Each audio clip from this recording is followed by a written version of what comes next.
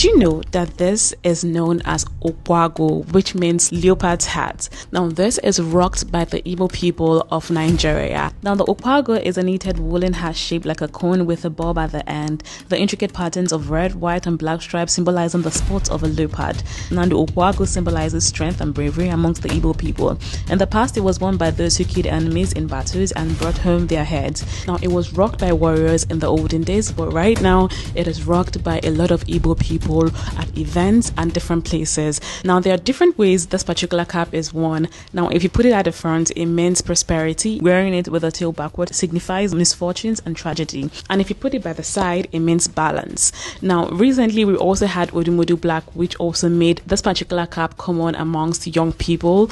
And even though he removed like the board there, he still left the most important part, which signifies boldness and greatness. But what do you guys think about this cap? I think it's really beautiful kindly drop your comments below, guys. Thanks so much for watching. Do watch follow us on all our social media platforms on Facebook, Instagram, and Twitter at I Love Africa. Bye, guys.